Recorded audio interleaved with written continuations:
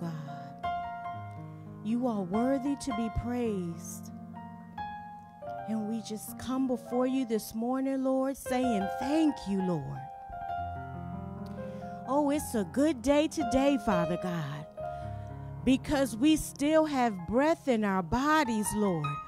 It's an awesome day today, Father God because you are in this place with us today, Father. We welcome you here today, Lord. We just praise you, Father God. We want to give you glory, Lord, because you are ever so worthy, Father God.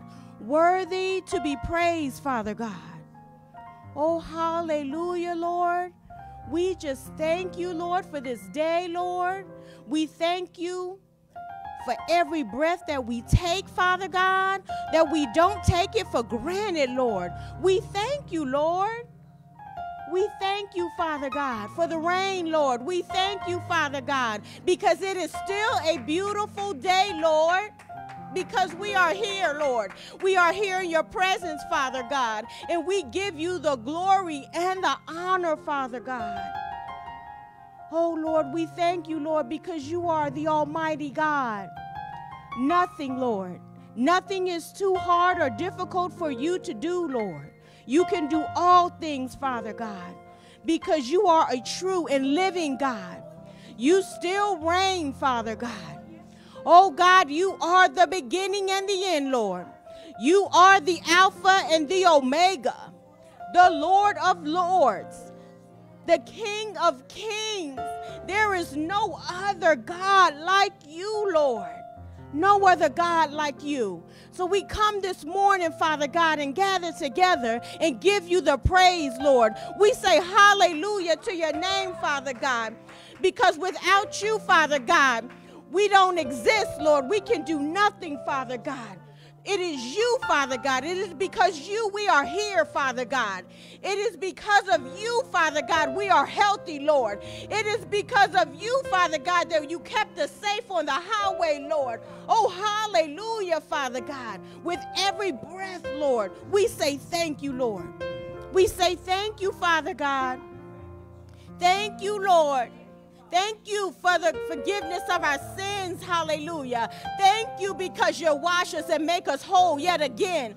Thank you for redemption and restoration, Father God. We bless you, Lord. We thank you, Father God, because you are worthy, Lord. You are worthy, Father God. You are worthy, Lord. We renew our minds, Father God. We ask you to help us to have the mind of Christ, Father God to set our things, set our mind on those things that are above, Father God, those things that are pure and righteous, those things that are good, Father God. Oh, thank you, Father God. We bless your name, Lord. We thank you, Lord, Lord. Oh, we thank you, Father God, for your presence, Lord. We thank you, Lord, for the Holy Spirit that resides within us, Father God that He continues to lead us, Father God, as we will follow. We thank you for the discipline, Father God. We thank you for the correction. We thank you for your guidance, Lord. We thank you for all things, Father God, because you are worthy, Lord. Oh God, we thank you, Father God, for this gathering, Lord, that we take for granted sometimes, Father God. But you remind us, Father God, it is you, Father God, who enable us to come together, Father God, in your name, Lord. And you said where two or more are gathered, there you are in the midst, Father God. So we welcome you today in this place, Father God. We thank you for your spirit, Father God, that you will reign, Father God, and that you will have your way today, Father God. Have your way, Lord. Have your way, Father. We submit unto you, Father God. We put our trust in you, Father God, because we give you honor and praise, Lord. We thank you, Lord, that your unfailing love covers us, Father God. We thank you, Father God, that you're compassionate and kind, Lord. We thank you for your grace and your mercy, Father God. We bless your name, Lord. We thank you that you covered us last night as we slept, Father God, so that we can have a good day on today, Father God. It is you who hold today, Father God. We don't know what will happen today, but you, Father, you know all about today, Father God. So we put our trust in you, Father God. You will never leave nor forsake us, Father God. No matter what it looks like, Lord, you will always be with us, Father God walking with us every step of the way, Lord. Helping us to be victorious as you have already told us we would be, Father God. Only if we stand in you, Lord. We bless your name, Lord. We give you thanks. We give you honor. We give you praise. We say hallelujah, Lord. We thank you for the Bridge Church of Alabama, Father God. We thank you for the ministry, Lord. We thank you for the vision, Father God. We thank you for the mission, Father God. Hallelujah. We thank you that you are the head, Father God. And we thank you that you have appointed Pastor Terrence Nolan and First Lady Latrilla, Father God. We thank you for their leadership, Father God. And we ask, Father God, that you put a fresh anointing on their lives today, Father God, in the name of Jesus, Lord fresh anointing fall right now in the name of Jesus, Father God. We thank you, Father God, for our leaders, Lord. We thank you that they are your true and faithful servants, Father God that they seek your face in all things in every area, Lord. We thank you that they're obedient to your word and your will, Father God. We just ask that you continue to bless them, Father God, that they are not lacking in any area, Father God, that they are full and that their cup is running over, Father God, with your spirit and blessings. Oh, hallelujah. In the name of Jesus, we thank you for them, Father God. We thank you for healing and wholeness. We thank you for prosperity in every area, Father God. We just thank you, Father God, right now for the word that's being brought forth today, Father God. We thank you that it will touch those, Father God, who are listening, Father God. We ask you to touch our hearts, Father God, and our ears, Father God, and our minds, Father God, so that we can receive what you have for us today, Lord. We thank you in advance, Father God. We thank you in advance, Father God, that we are receiving what you have prepared for us today, Father God, that it will be less of Pastor, Father God, and more of you, Father God, in the name of Jesus. That we will hear your voice today, Father God, your word through him, Father God. That you will use him, Lord. Use him, Father God. Use all of him, Father God, in the name of Jesus, Lord.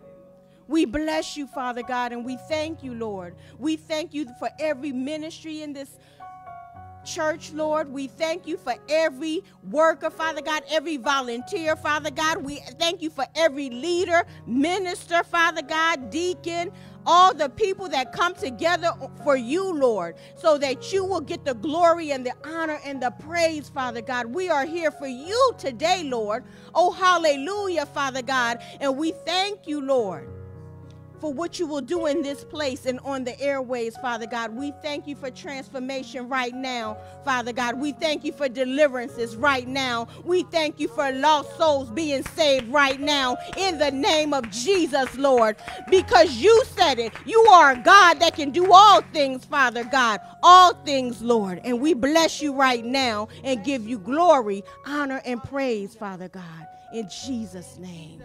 Oh, hallelujah. Come to bless your name this morning. Good morning, good morning, family and friends. Hallelujah. Come on in. Get up out your seats. Hallelujah. And prepare to raise your voices unto the Lord. We're going to give him every praise this morning. Hallelujah. Every praise, every praise is to our God. Every word of worship, every word of worship with one accord. Every praise, every praise, every praise, every praise is to our God. Sing hallelujah, sing hallelujah to our God. Glory, hallelujah, Glory, hallelujah is to our God.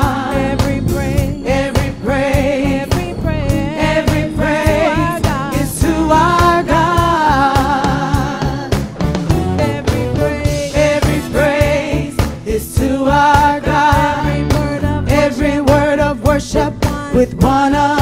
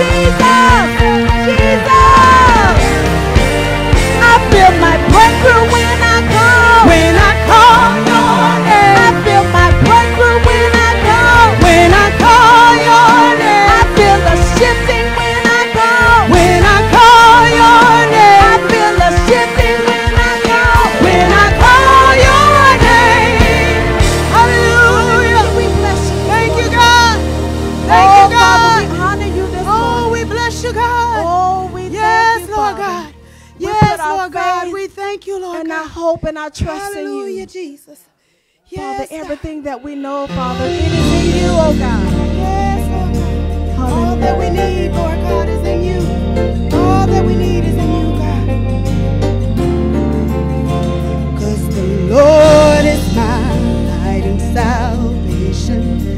Whom shall I fear? Whom shall I be afraid? The Lord is my light and salvation. Whom shall I fear? Whom shall I be afraid? I will wait on you. Yes, God, I will wait.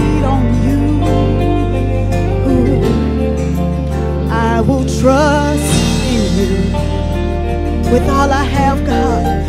I will trust in you, the Lord. Is my light and salvation. Shall Shall I fear? Whom shall I be? Shall be afraid? The Lord is my Lord. Is my light and salvation. Shall I fear? Shall I be? I afraid?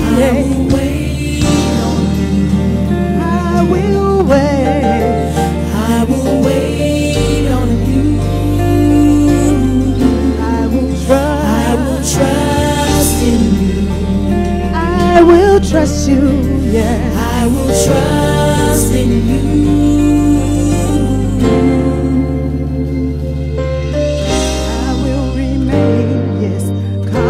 confident in this. I will see the goodness of the Lord. I will I will remain confident. confident in this. I will see the goodness of the Lord. Lord is my The Lord is my Lord. light and salvation. Whom shall I fear? Shall I fear? Whom shall I be? Shall I be afraid? Lord The my Lord is my light and salvation. Shall I?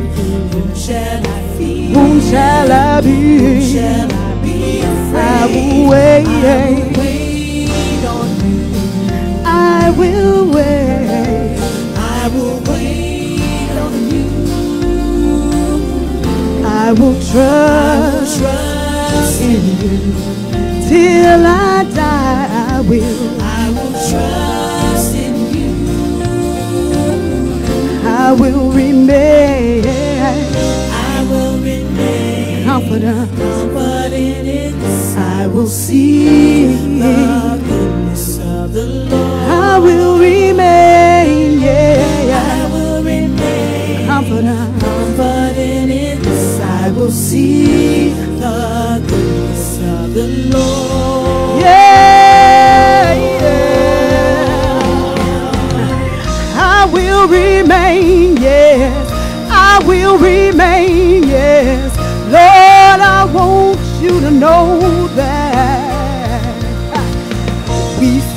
I hope on you. We said I hope on your love. We said I hope on the one who is the everlasting God. You are the everlasting God. We said I hope on you. Said I hope on you. We said I hope on your We love. Said I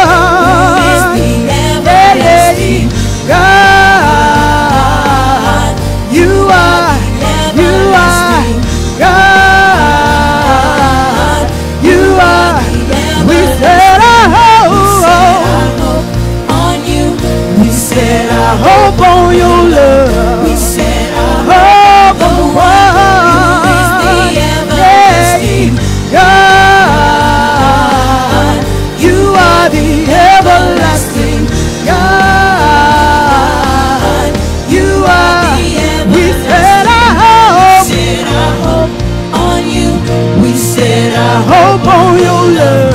said I Hope on the one. Yeah, God. You are the everlasting God. You are. We said I hope. on you. We said I I hope on your love.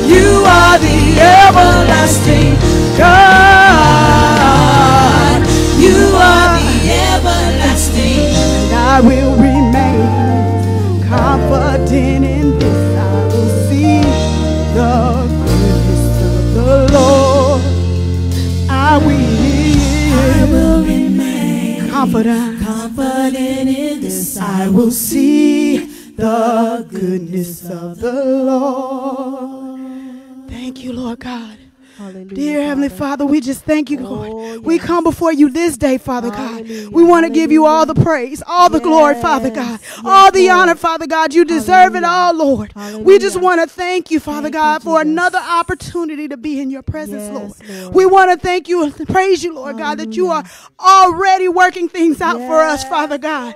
We give you the praise in advance, Father God, that no matter what it is we need, Lord God, no matter what it is we're standing on, Lord God, what we're standing in the gap for, Father God, we count it done this day, Father God, at this time and this hour, Lord God. We just thank you and praise you, God, that you have already put your angels into action, Lord. And we just thank you and we praise you in advance for our breakthroughs, Father God. We thank you and praise you, Father God, that this day people will make those life changing decisions, Father God. This day, Father God, that our country is back to what it needs to be, Lord God. We thank you and praise you, Lord God, that you are still in control, God. You are still in control, God. We thank you, Lord, that you are still in control, God. And we thank you and praise you for it this day, Lord God. Hallelujah. In Jesus' name. In Jesus' name. Hallelujah. Glory,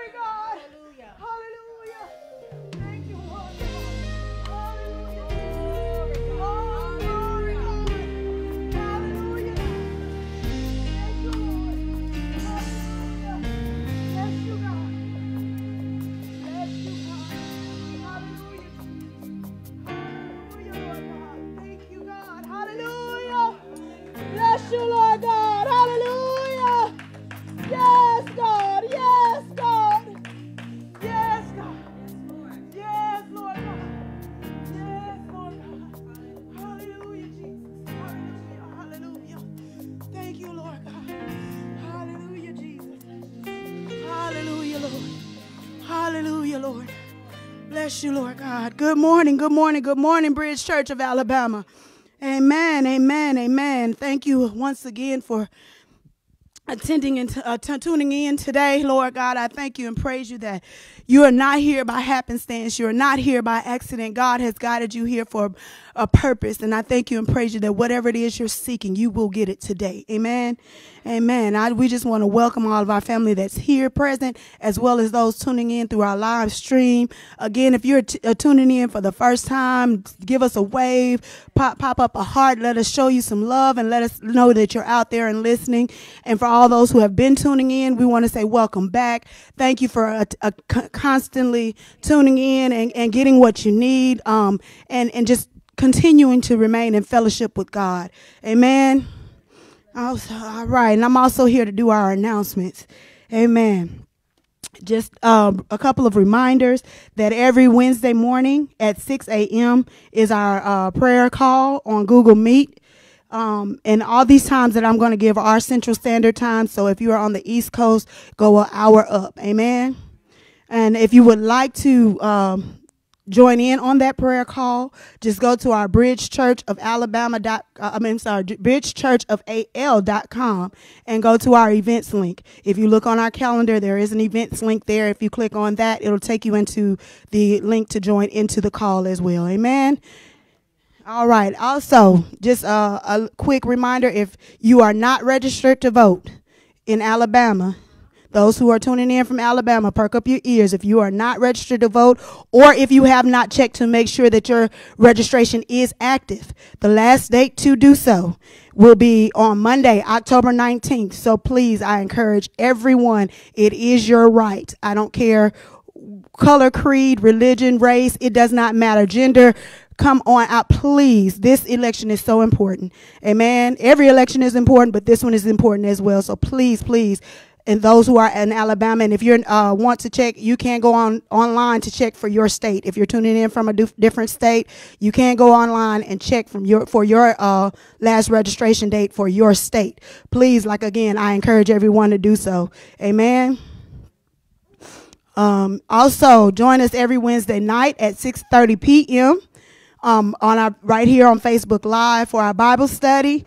Again, life changing, life changing, life changing. If you're looking for answers, it's a, it's a chance for you to ask questions, uh, comment. It's, it's not like any other Bible study you've probably attended. You will be able to get in comments. Um, it's always a pleasure to join in. I mean, you never know what you're going to get. Amen. it changes from week to week sometimes, just depending on where God leads. Amen. Also, my women, whoop, whoop, where we at, where we at? My women, women, all my women out there. We are coming up very fast up on our next women's Bible study. We're starting a new uh, Bible study, or a new book, I should say. Not a new Bible study, but our new book will be the 12 women of the Bible. Amen. And we will start on October 24th. 11 a.m. again Central Standard Time. And if you would like to join us for that as well, go to the Bridge Church of AL.com. Click on the events link on that day, and it should give you the link to join into the Bible study. And this, again, all these things that I am announcing are not just for our members or our uh, supporters. You are anyone is more than welcome to join. So just go to our, our like I said, go to our our uh, website and click on the link, and you'll be linked in uh, with everyone else. Amen. Also, shout out to my men. My men, are y'all in the building? All right, all right, men out there. Also, y'all are doing y'all have y'all's Bible study as well. So I expect some of our men, not some, I expect all of our men, amen, to join into this. And I've I've heard, of course, I'm not a part, but I've heard it's been some wonderful, wonderful Bible studies as well. Uh, it's an opportunity again to open up, be a part, and it's open to anyone who would like to be a part. It's a safe zone as well as our women's Bible study. They are safe zones. There's no judgment. There's nothing. If you want answers, you want ways of how to live and walk this life out in Christ, I encourage you to join these meetings. Amen. And our men will meet again on October 23rd at 6 p.m. Central Standard Time, all right? And they're doing the making of a man, all right? All right. So also again, go to our bridge church of al.com and go to our events link and it will link you in as well. Amen. Anything that I mention here is always on our website. So please keep that uh website uh, address close by and you can always find out what we have going on and join and be a part. Amen. Amen. So now we will have our offertory message. I've got so much to thank God for.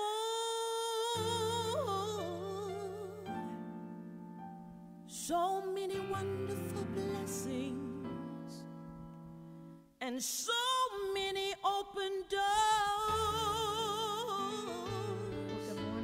morning, good morning, good morning, Bridge Church of Alabama family and friends. Greetings to you from the Opelika, Alabama. Amen. Come on in and uh, have a seat with us as we get ready to uh, partake of God's word today. Um, I just pray that everyone, uh, if you have a praise report out there, why don't you type it in the comments for us? Amen. And uh, we'll have someone to uh, monitor those and. Um, we'll we'll have we may read a couple of those. And I'm saying that because here in the house this morning it's suppressed. I, I don't know what it is if it's the weather, but there is a, is a heaviness here this morning, and I, I just pray that uh, we will all just really allow God to push it out. I don't know what it is, but it's just really uh, suppressed this morning. But whatever it is, I want you at home and here in the building to be encouraged because God is in full control. Amen. Amen. Uh, so I'm here to, as we uh, go into our offering message, uh, if we would uh, turn to Second Corinthians chapter 9. And we're going to read verses 8 through 12 in the NLT, please. And it reads, And God will generously provide all you need. Then you will always have everything you need and plenty left over to share with others. As the scriptures say, they share freely and give generously to the poor. Their good deeds will be remembered forever. For God is the one who provides seed for the farmer and then bread to eat. In the same way, He will provide and increase your resources and then produce a great harvest of generosity in you. Yes, you will be enriched in every way so that you can always be generous. And when we take our gifts to those who need them, they will thank God. So two things, so two good things will result from this ministry of giving. The needs of the believers in Jerusalem will be met, and they will joyfully express their thanks to God. Uh, if you would also go to Deuteronomy chapter 8 and verse 18, you can stay in the NLT. Remember the Lord your God, He is the one who gives you power to be successful in order to fulfill the covenant He confirmed to your ancestors with an oath. So, what I want, I'm coming this morning, I just want to uh, just have all of us to be mindful that God blesses us. Um, we are blessed to be a blessing. And so um, we're going to go to a couple more scriptures here. Uh, Nicole, go to um, Proverbs chapter 10, verse 22.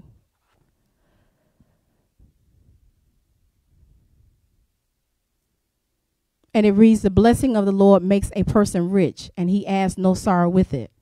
And then I will uh, take me to um, 1 Corinthians chapter 4. We're going to look at verse 2. Now, a person who is put in charge as a manager must be faithful. So, now this is what I want to bring before us today because a lot of times we find ourselves um, where when it comes down to giving or sowing into the things of God, we find out there's nothing left. When all the while that God has given us increase uh, on our jobs, you know, people may have blessed us. There are so many things uh, or so many ways that God blesses us and, add, and adds increase into our lives. But what do we do with that increase? So we I've we've read a, a few scriptures here this morning that one of the things that God is calling us to do with that increase is to give uh, to those who are in need. Now, so when we say give your tithes and offerings, that is for the purpose of fulfilling that commandment of God, so, uh, giving into the lives of others. But you, if you're not hooked up with a church or ministry, you can do that yourselves. If you have increase, you can sow it into the lives of others and still be a tithe or give an offering unto the Lord. But those who are hooked up with a ministry, this is a way or an outlet for you to be able to sow into the lives of those that, that God has uh, uh, may have placed in your life to be a blessing to. And also, I want to say that um, through this pandemic, that the Bridge Church of Alabama has really been sustained by you, uh, our viewers and partners, and those who continue to believe in the vision that God here, uh, that God is doing what He's doing here in this ministry. And for that, we say thank you. It is because of you that we've been able to upgrade our um, audio and visual equipment, that we've been able to continue to come before you uh, and enhance uh, the sanctuary. So without you, we could not do this. And so is the body of Christ. We need everyone uh, as a body to be able to do that which God is calling you to do, not pressuring you to do, but what He is calling you to do, uh, to sow into the kingdom that we all may continue to be a blessing to those who are less fortunate. Amen. Please prepare your tithes and offering.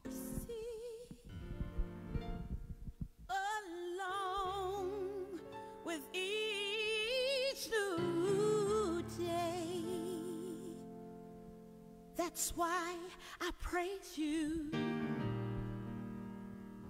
And for this,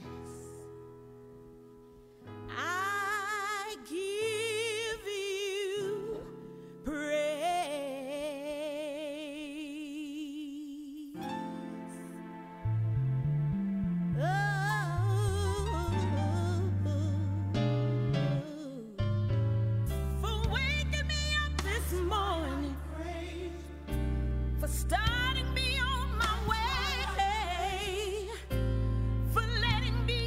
Uh, please, um, let's pray over your, your giving this morning. Dear Heavenly Father, we honor you this morning. We thank you and we praise you. And we have come before you uh, just as we are, giving uh, that what you have blessed us with. We want to give it back to you, Lord, that, that you will bless it, that you will multiply it, and that you, Father, will give and sow into the lives of those who are in need. We thank you, Father, just for being so faithful, just, and true. We thank you for rebuking the devourer on our behalf. We thank you uh, just for keeping us and in our household that we there is nothing that we are lacking, that we are missing, or there is nothing that is broken or broke down. And we just give you honor, glory, and praise. And we thank you for just the generosity and how you have poured out into our lives. And we just want to acknowledge you, Father. And we know, as your word has said this morning, that it is you who has who has given us the power and who has given us the increase. That we may continue, Lord God, to increase and advance your kingdom. We bless you now, and we pray that as these your people sow, that the their seeds that they sow, that they will go and they will grow, Father God, and bring about a harvest that they shall not have room enough to receive. That they will be they will have to uh, uh, sow, Lord God, out of their overflow. In Jesus' name we pray. Amen. And um, we want to, uh, did anyone have any? Uh, okay. Amen. That's all right. That's okay. Amen. So, amen. Please uh, prepare your hearts and mind as we uh, go forth to hear the word of God this morning.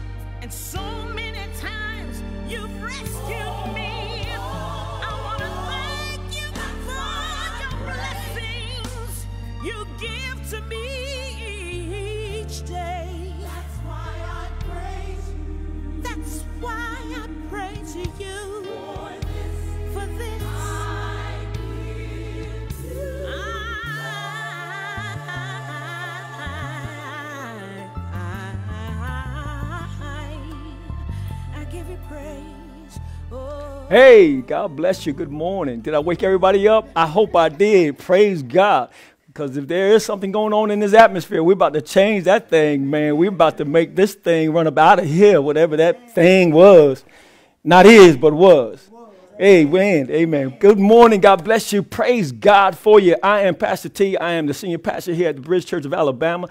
I'm welcoming each and every one of you. Thank you so much for joining us this morning and this afternoon. For those of you that are on the East Coast, we're so blessed to have you today. We know that today would not be the same if you had not joined us. And so your presence is so important to us. Uh, as First Lady said, you know, we're open for comments and anything like that. Please feel free to make your comments on our Facebook page or on, on our our um, streaming live here. Um, just enjoy yourselves. I just want you guys to get relaxed, enjoy yourselves. I hope you're in a place of, of, relaxation right now, comfort and convenience, because we're about to go and teach the Word of God today. I'm praying that you all are prepared. As I've said several times in my teaching, that I am much not much of a preacher, but I am I, I believe that God has called me to be more of a teacher. And so we're going to teach the word today. And I pray that you walk away with some more knowledge than that you walked in here with. Amen. Amen. Well, we thank God again for you. I, I don't want to prolong the time. I want to continue to go forward and, and get some things out of the way today. Uh, so let's pray. Lord, before I pray, though, I must do this. Amen. Today is my sister's birthday. Happy birthday, Pam Nolan. Give you a shout out. Happy birthday. Amen. Happy birthday, sis. We love you today. Just want to give you a special shout out. And to all of our October babies, amen. Happy birthday to you. I know that we, we normally celebrate uh, the, uh, monthly, we celebrate our babies on, I call you babies. You, you may be 70 years old, but you're still God's babies. Amen. And so we want to celebrate you today. Happy birthday to you, all of our October uh, babies in the house and, and, and virtually out there throughout the land. Let's go ahead and pray. Amen. Heavenly Father, we bless your holy name today. You are worthy to be praised. Father, I decree and declare, God, that this is your house. This is your ministry. This is your service today. And I relinquish my will into your hands. I pray, God, that you will sanctify my tongue, God, that I may speak only the oracles of the Lord today. Father God, that you will be pleased, Father, at the end of this lesson today. I thank you, God, for the people that are here today. I thank you for those that are viewing us uh, by way of, of, of uh, media. We bless you for them, God. We pray that you will do a, a, a, wonderful thing, God, in their lives today. Increase them the more, God. I pray that their wisdom and their knowledge will increase. I pray that their faith would increase today, God. I pray, God, that their commitment to you would increase today. We bless you today, Father God, for the results of what you're going to do in this place. We give you glory, honor, and praise for it now. And it's in your mighty name we pray. Amen. Amen. Amen. Well, praise the Lord. Let me get situated here real quick here. We have been talking over the last several weeks, man, maybe a couple months now, and I just really find it necessary that we continue to do this. Talking about spiritual inventory, taking inventory, not so much, it wasn't just uh, spiritual inventory, which was one of our, uh, our topics, uh, but it was taking inventory of our lives so that we can uh, uh, uh, present to the world uh, a, a, a depiction of what God looks like, a depiction of what Jesus Christ looks like uh, in, in here in, in the world. And we believe that it is in our best interest that we do periodically that we do uh, an inventory so that people can see, uh, so that we can see what's going on in our lives. And we said that I said this last week that sometimes the only Bible that people will read is your life. And I also said that you don't even have to open up your mouth when it comes down to being a Christian. You don't even have to open up, open up your mouth to preach one sermon to anybody. All you got to do is live the word. You, you don't have to open up your mouth because your, your life will, will, will uh, exude such a, a loud um, depiction of who God is if you live right, if you live correctly. We want to make sure that you're walking in the Spirit, that you're doing those things that God has called you to do. Because our lives are always on display as Christians. We're always, people are always watching you. When you don't, when you think they're not watching you, they're watching you. And then there are times that we know that they're watching us, and because we ain't been delivered by, from certain things, sometimes we, we, seem, we seem to forget that our lives are not our own. You know, sometimes we, we want to take back our lives, take it back from God and, and take over and say, well, you know, uh-uh, not today. You ain't gonna you ain't gonna make me uh, uh your, your what we say uh, your doormat today. Amen. Want to give a shout out to Minister Desmond, man. He's been preaching a wonderful uh, uh, Wednesday nights, man. I, I, know those of you that have been coming in on Wednesday nights with us, man. He's been preaching a, a, a teaching. I said preaching, but he's been teaching a marvelous uh, lesson over the last couple Wednesday nights, and I just want to thank him so, so, much for his teaching. Amen. We got some marvelous teachers here in the ministry. God is doing some wonderful things uh, with, with the people uh, uh and the, the, the, vessels that He has sent here in this place. And for those of you that have, been, have not been joining us on Wednesday nights, I'm telling you, man, it's, it might be worth your spiritual while if you join in and, and get some of this good teaching. I know that everyone who has has uh, tuned in thus far have really enjoyed it. And so I just want to uh, acknowledge that on Wednesday nights. Uh, but let's continue. Let's go forth. We want to continue talking about taking an inventory of your lives. We said that when we take inventories of our lives, that there are certain areas of our lives that we want to look at, uh, that we believe uh, are important. These are areas in our lives that we want to evaluate. We want to evaluate our attitudes. We want to evaluate our behaviors. We want to evaluate our priorities, how we've set certain things in our lives. Then we want to evaluate our habits. And last but not least, we want to evaluate the relationships that we have uh, in our lives. You know, what, what, what relationships we have and how important are they? And I said that as we break those, those areas down, as we review those areas, that there are uh, five areas that we want to uh, take inventory of. And I broke this down based on how the Holy Spirit gave it to me. And we said that we want to take an inventory of our time. We did that and we taught on that several weeks ago. Then we want to do a spiritual inventory. Now, when we talked about spiritual inventory, spiritual inventory, we, we ended up with several subtopics under the uh, spiritual inventory. Those sub- subtopics were uh, avoid comparison one to another and each one of these subtopics were uh, uh, biblically based, and we taught on these based on the Bible, each one of these.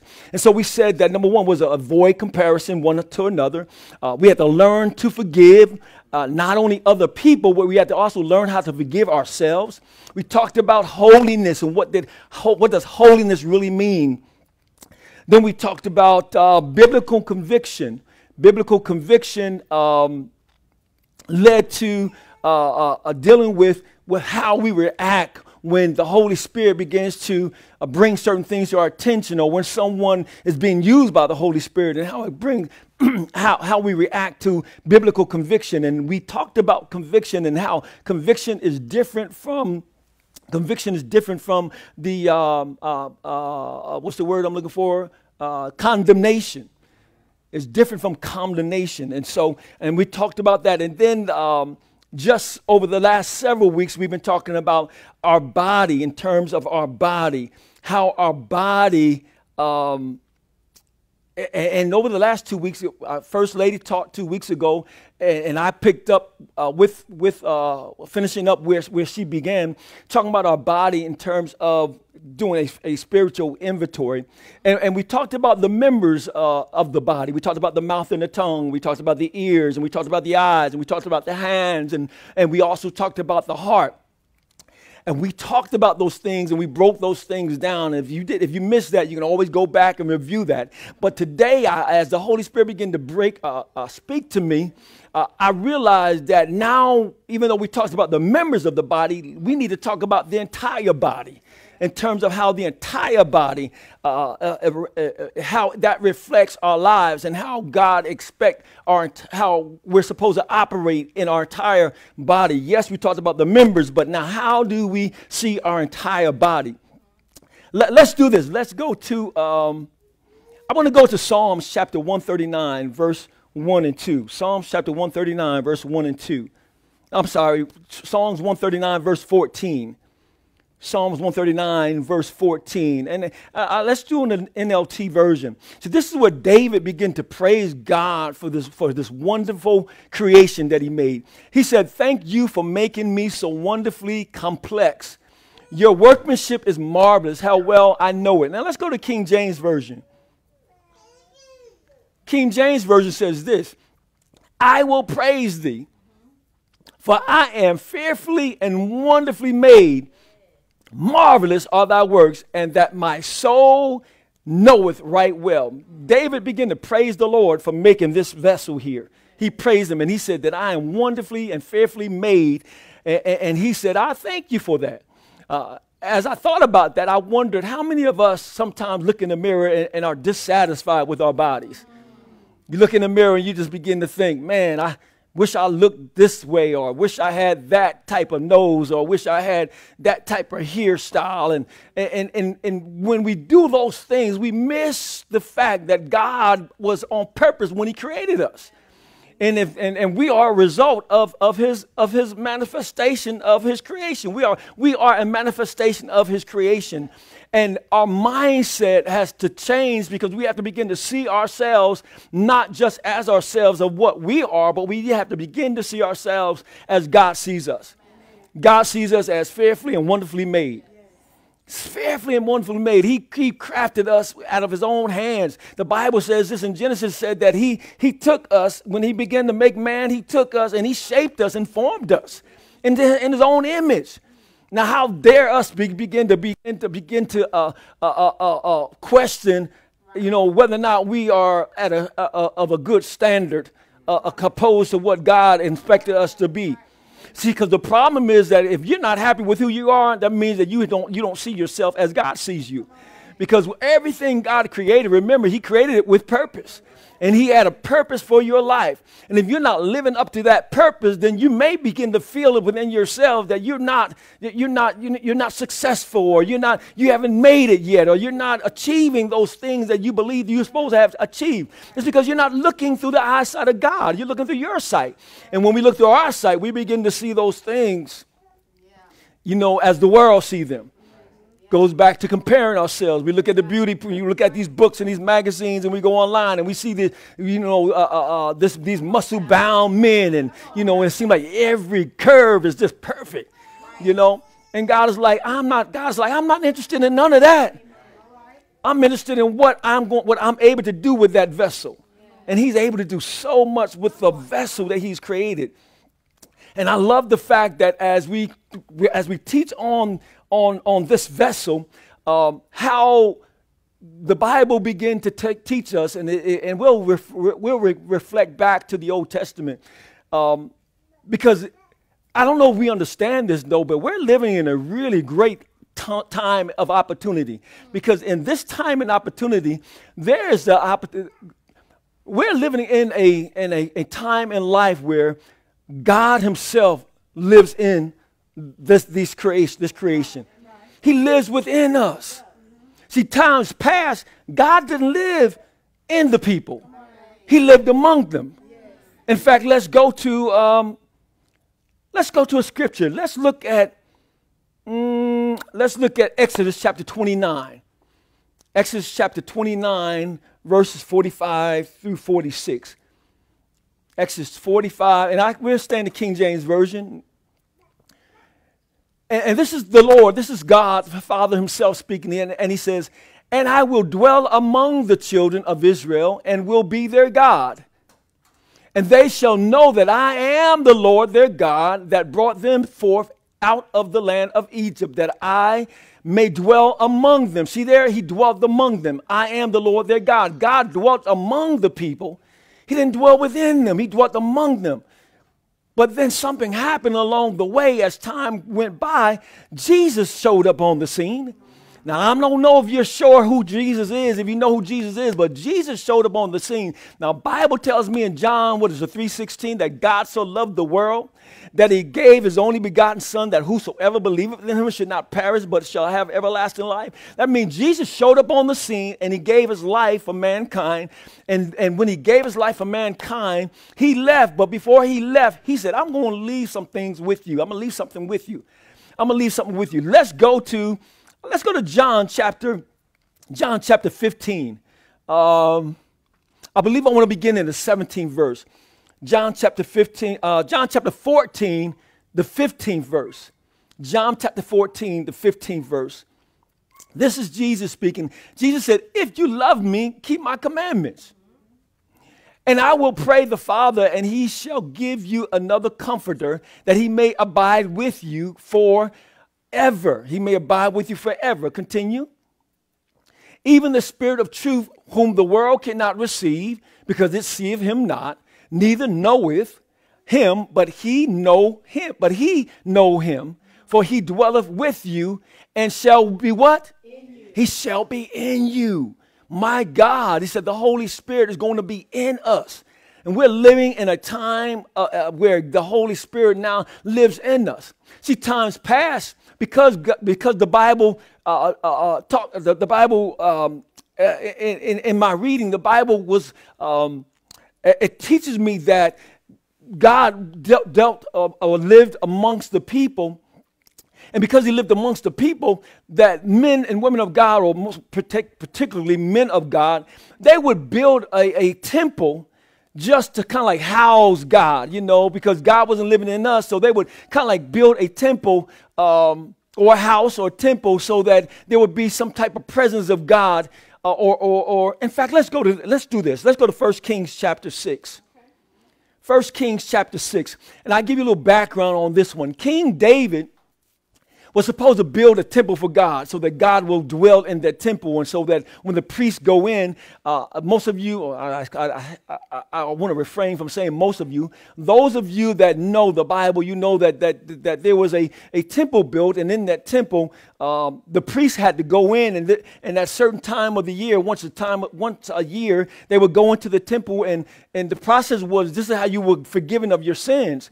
And the temple was built and, and, and but uh, David was supposed to build the temple, but David never got a chance to build the temple. Solomon built the temple. So let's go to 1 Kings chapter 6, verse 21 in the New Living Translation.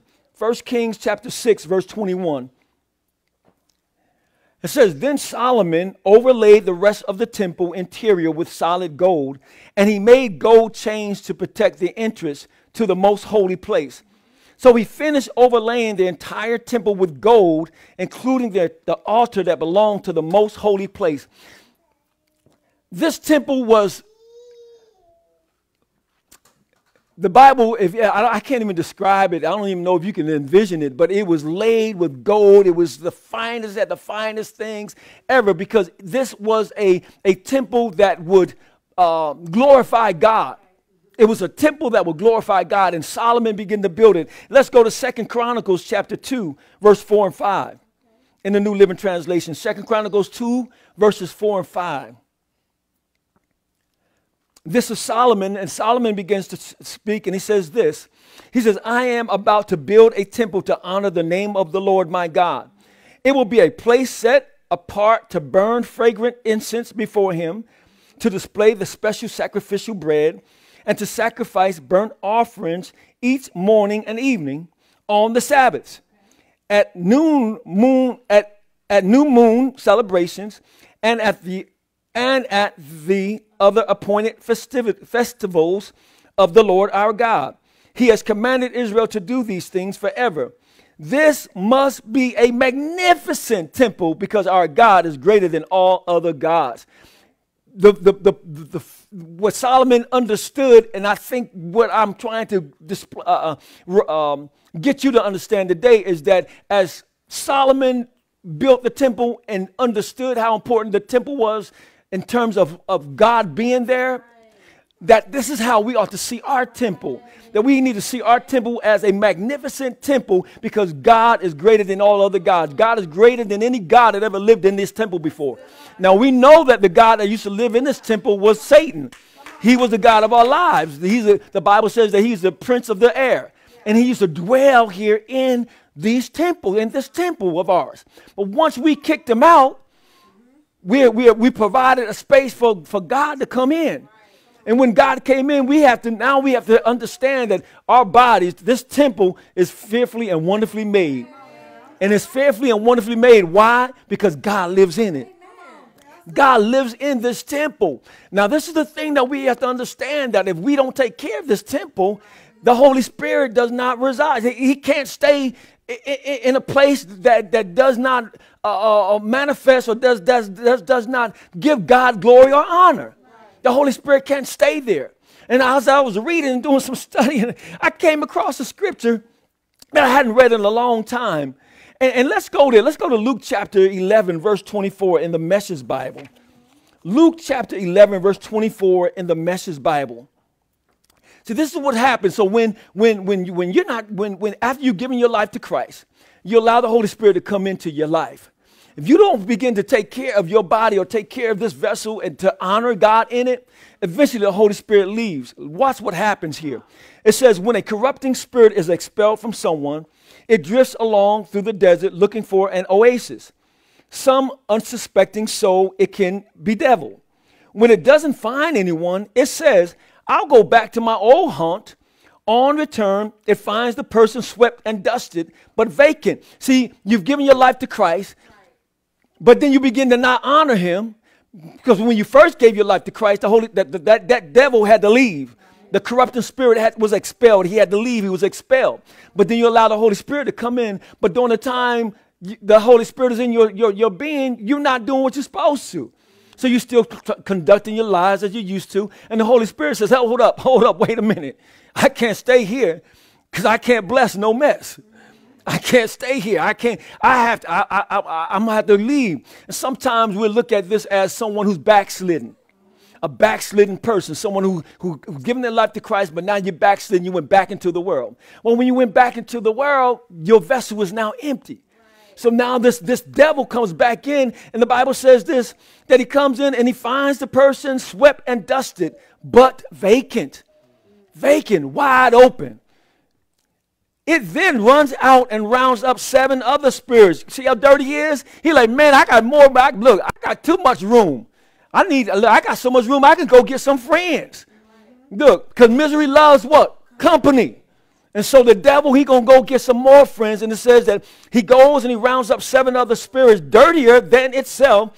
And they all move in, whooping it up, having a party on you, whooping on your head. You want to know why you ain't got no peace?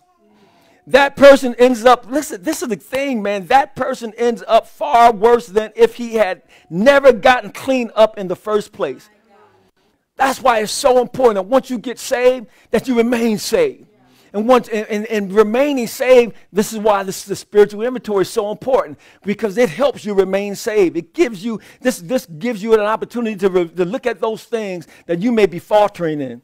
So we want to make sure that we keep our vessel, we keep this temple in a place where God can, can manifest his very best in and out of us. Amen. Amen. Amen. Amen. Woo! As I said earlier, there is a purpose. God has a purpose for, every, for everything that He made. And especially, He had a purpose for us, for our bodies. He made, he made our purpose. He made, when He created us, He created us with purpose. Let's go to Second Corinthians chapter. Um, 2 Corinthians chapter, oh man, I don't know if I want to. Second Corinthians chapter 6. 2 Corinthians chapter 6. Um, I think I want to begin with the 16th chapter. Yeah, Second Corinthians chapter 6, beginning with the 16th chapter. No, no, no, I'm sorry. Let's go to first, let's go to 1 Corinthians chapter 3. 1 Corinthians chapter 3, verse 16, in the Message Bible. Yeah, I'm bringing out the Message Bible. Minister Desmond loved the Message Bible. Me too, son. It, sometimes it hits you upside your head whoop whoop upside your head. Man, that thing you can't. There's no way in the world you cannot understand the Message Bible. it, it breaks it down. I'm telling you, even a dummy can understand it. Yeah, I'm telling you, man, you can't. Huh? What you say? Somebody said something. That ooh. I'm not gonna tell you. I'm glad the uh, the ambience sound can can you didn't hear that. We're not gonna say that. You say that's why Minister Desmond likes uh, Minister Bible because because he realized who's, who he preaching to, because he realized who you teaching to. I'm, I tried to clean it up for you, son. First Corinthians chapter 3, verse 16 in the Message Bible. We love the Message Bible. It says, you right? Got to stay in the spirit. it says, you realize, don't you? See that? That's how he talks to us. The Message Bible talks to you. So you realize, don't you? Don't you? You realize, don't you? you realize, don't you? That you are the temple of God and God Himself is present in you. God Himself is present in you. Continue. No one will get by with, with vandalizing God's temple. You can be sure of that.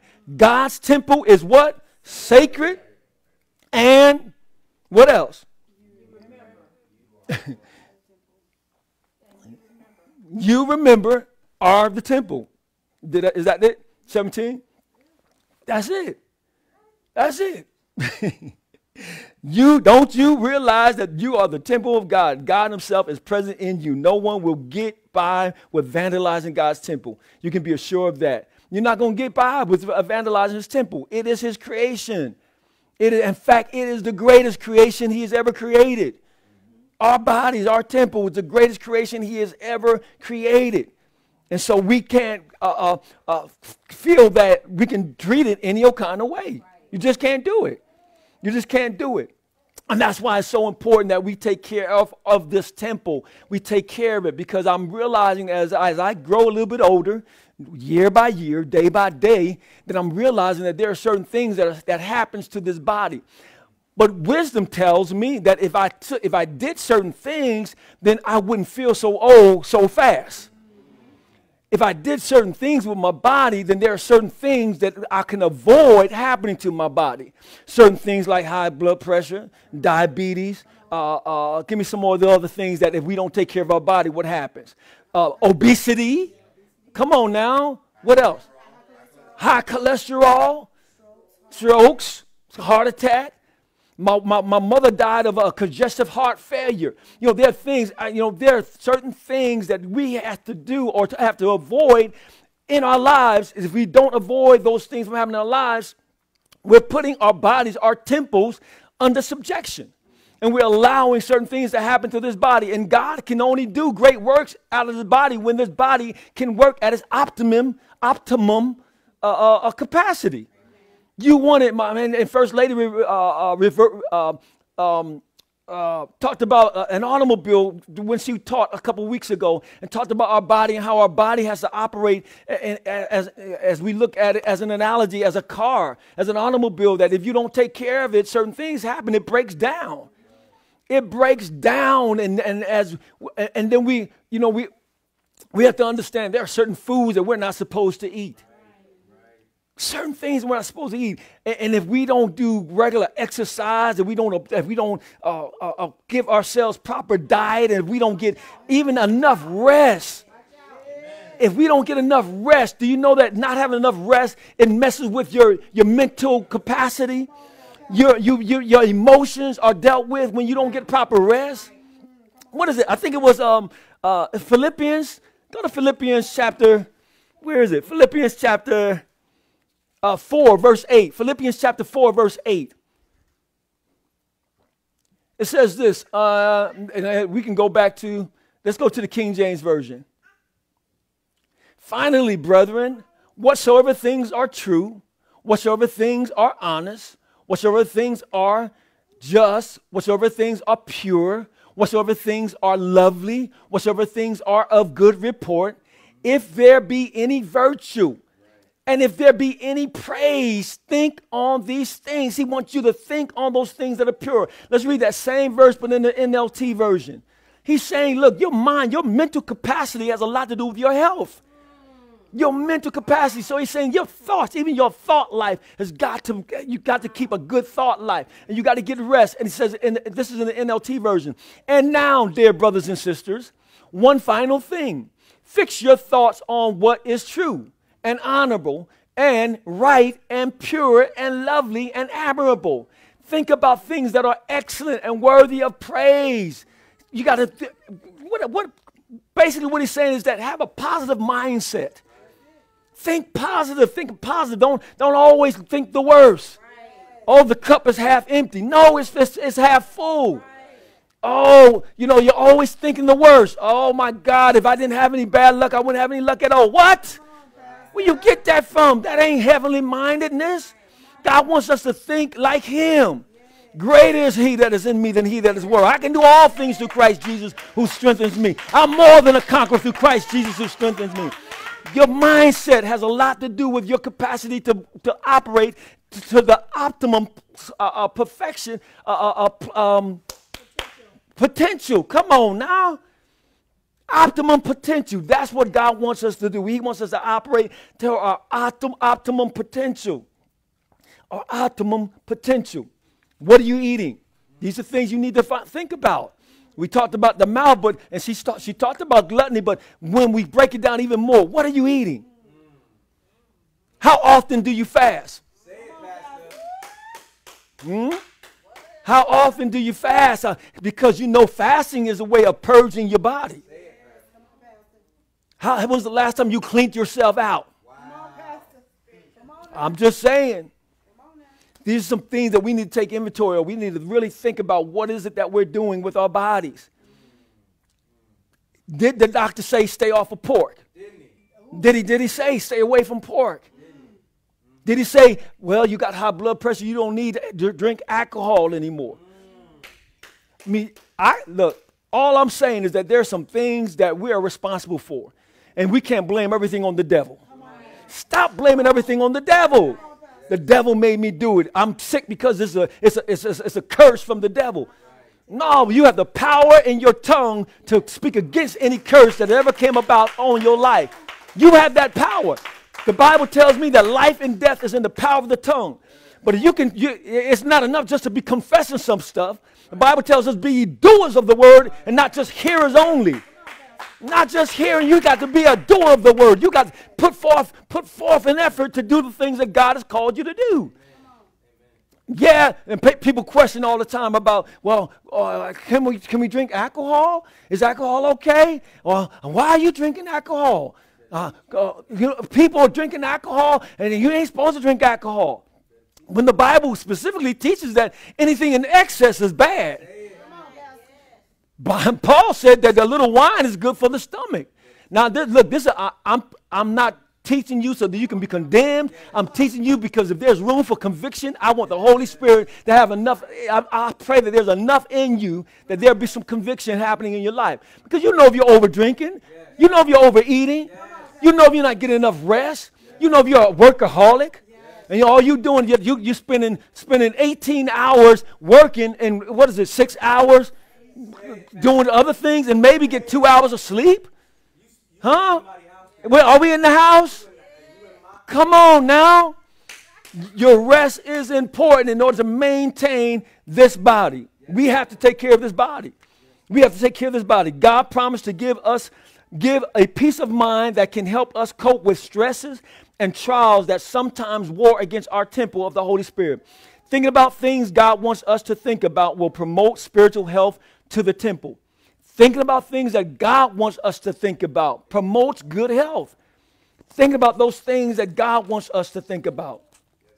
We have to understand that when God created this temple, He created it so that He can be glorified. You cannot glorify God when you walk around sick all the time. You can't glorify God if your body is sick all the time. Now understand that there may be some genetic things that goes on in your body that you didn't bring upon yourself. Because I understand there's some people that are obese and they, and, and they eat better than some of us who are just slim.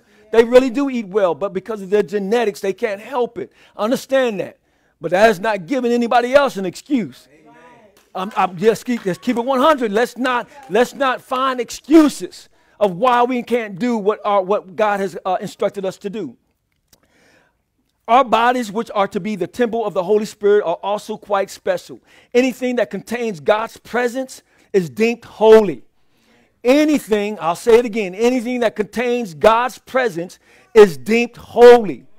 The body that receives the gift of the Holy Spirit is special to God and is to reflect His nature. Because the Holy Spirit lives in us, we're supposed to reflect His nature in every area of our lives. Not just how well you can sing, not just how well you can teach, not just how well you can look, but every area of your life, you have to, you, you have to reflect his nature. You have to reflect his character. How would you, question for you, and, uh, and, and, as they say, don't raise your hand. That, that way I won't, you won't know we're talking about you. How would you describe the current state of your temple? How would you describe it? My son sent me, uh, uh, uh, Mr. Desmond sent me a song last week. Said, What would you do if, if, if Christ walked in the room? What would, what would you do if Christ walked in the room? What would you do if Christ walked up to you and said, Hey, how have you been taking care of the Holy Spirit lately? If Christ Himself was to ask you, How have you been taking care of this vessel? What would you say? What would you say? We have the freedom to choose how we will care for this precious body, lovingly designed by our Creator, lovingly designed by God wonderfully and fearfully, fearfully and wonderfully made. He, he designed us. And you, we, we, we make choices every day of our lives. How are we going to take care of it? It is His intent that we care for it and use it properly. Fearfully and wonderfully made is this body God created, the temple of the Holy Spirit. That's what we have. God no longer dwells among us, but God dwells in us. God dwells in us. And when we when we understand that uh, beauty is only skin deep, yeah, yeah, yeah. that it doesn't matter how fine you are or how fine you're not on the outside. What are you doing with those things that are in the inside? What are you doing with what God has deposited in the inside of you? If you don't take, take care of your body, then the Holy Spirit's expression through, through, through us is going to be limited we, me, myself, you, we're not going to be able to do what God wants us to do. Think about this. If, if I, and I'll, I'll think about this is a thought of mine. If I die, if I die prematurely, the Holy Spirit has no expression through me on this earth. If I die early, if I die ahead of my time, if I die earlier than what the potential that God puts, put in me, because, because I, I, I didn't take care of my body, that means there's so much that I was supposed to do. Now I have to take all that vision and it goes to grave with me. And I've missed out on, on giving God the glory. I missed out on giving God the praise. You miss out on being the best that you can be for God if you, if you die prematurely. The work of God through me, the work of God through you, the expression of the Holy Spirit through me, the expression of the Holy Spirit through you, it ends and it could end prematurely if we don't take care of our bodies. The Holy Spirit, he, he, he, he, cannot dwell in an unclean vessel. And sometimes we think unclean vessel means that, you know, Satan lives up in there. We, we, as I read, there are times that the vessel can be completely empty. What are you, what are you doing? Why is it empty? We, we need, it needs to be filled. Eh, sometimes you, we need to go back to God and say, God, fill me, oh, fill me again. As David said, oh, let my cup overfill. Fill my cup. Let it overflow. Fill me, God, till I overflow. Fill my cup, Lord. Help me to overflow. Let there never be an opportunity for Satan to come back and find this temple empty. Let, let there never be an opportunity for Satan to come and find your temple empty. So that he'll go back and say, Well, hey, let me bring my buddies and we're going we gonna fill this place. That your condition be, be worse, worse now than what it was before. Don't allow God, don't, don't allow the enemy to take that type of opportunity in your life. John 10 and 10 says, um, says, A thief comes but to steal, kill, and to destroy. He said, But I come that you may have life and have it more abundantly. He said, I want you to have life. I want you, I want you to have it. The thief cometh not, but to steal and to kill and to destroy. I am come that they may have life and that they might have it more abundantly. How can we have life more abundantly? By, by presenting our, our, our lives as a living sacrifice. One last scripture. Let's go to Romans chapter 12, verse 1. Romans chapter 12, verse 1. Um, NLT version.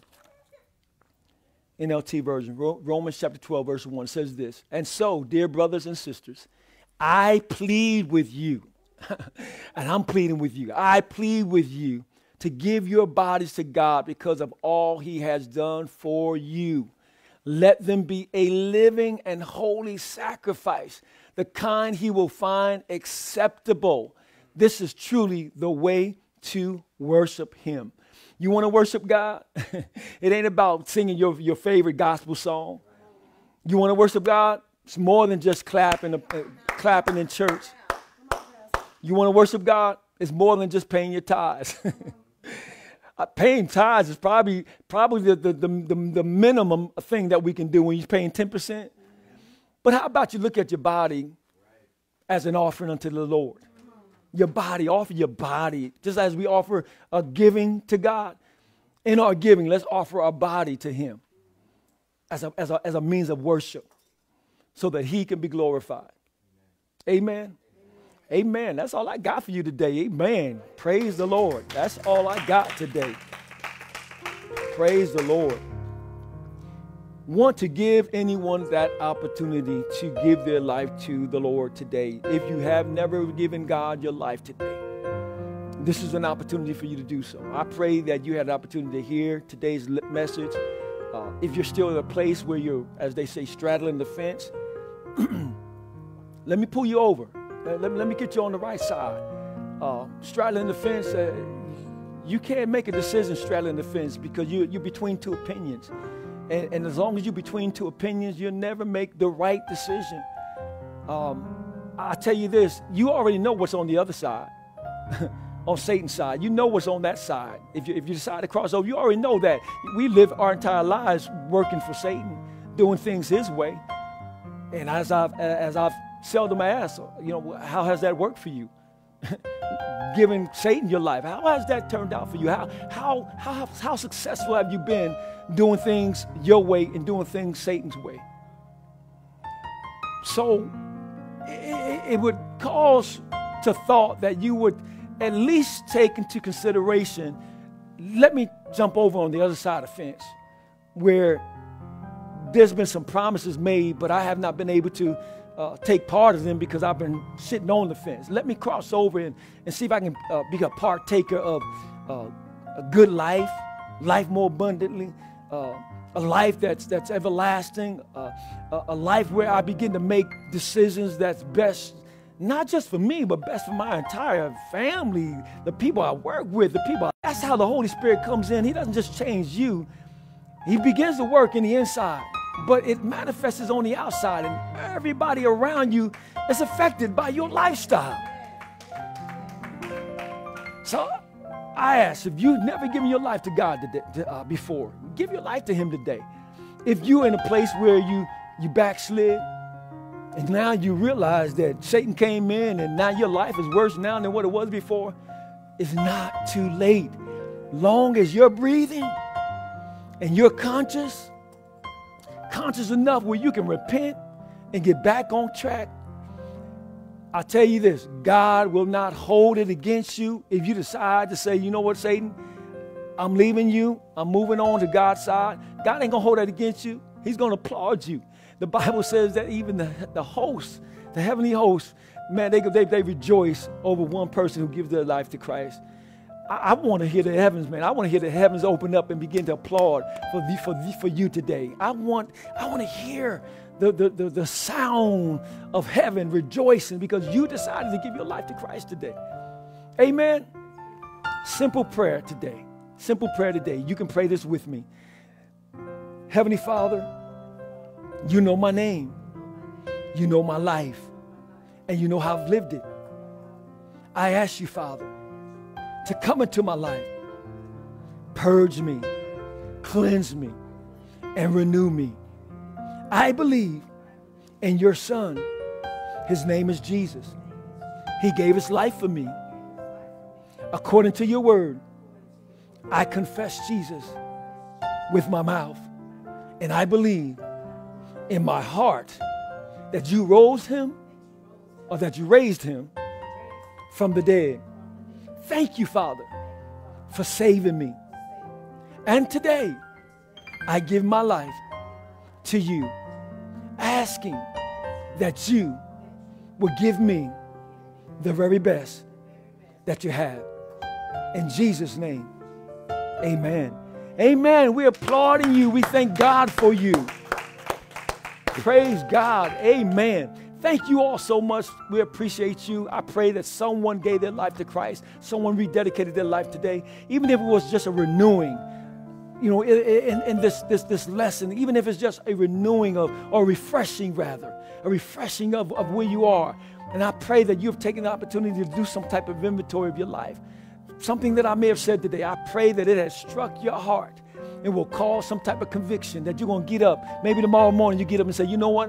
I'm not going to try to run two miles, but I'm going to walk one mile. Something that I haven't done before. I'm going to take care of this body you know what? I'm not. I'm gonna refrain from from eating a pork chop today, and I'm I'm gonna get me one of them. What's some veggie burgers, baby, that you eat? A Beyond Burger. I'm gonna get me a Beyond Burger instead of a pork chop today. I've tried them Beyond Burgers, man. Y'all need to try them things, man. They're pretty good. It may take you to get some. It may take some getting used to, but but but it's it's it's moving forward in in the place that I believe God will have for you to be. Amen. Amen. Look here, I love you guys. I do love you with the love of God, man. I, I, I, pray that you have had a wonderful day wherever you are, whatever you're doing. Don't forget that God is on your side and that He said that He'll never leave you nor forsake you. Look, this is the Bridge Church of Alabama. We love you guys. We're loving God, we're loving people, and we're pursuing purpose to the best of our ability. We're doing it as God sends us to you or send you to us. We just want to do it God's way. God's way is the best way. That's the only way I know how to do it. Amen. I love you guys. Look here. I'm Pastor T. I'm out. Till the next time, I'm out. God bless you.